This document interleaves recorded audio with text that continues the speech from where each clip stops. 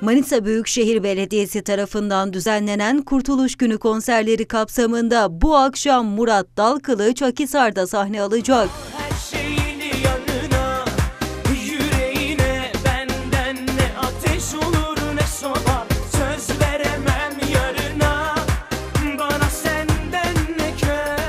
Akisar Gölet alanında düzenlenecek konser saat 21'de başlayacak.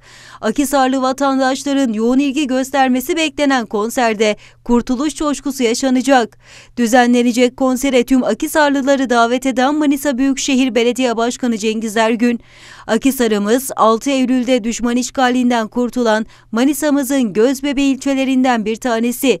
Kurtuluş coşkumuzu katlamak amacıyla Murat Dalkılıç konseriyle Akisar'da vatandaşlarımızla buluşacağız. Konser etkinliğimize tüm Akisarlı hemşehrilerimizi davet ediyor. Akisar'ımızın düşman işgalinden kurtuluşunun 100. yılını kutluyorum dedi. Baba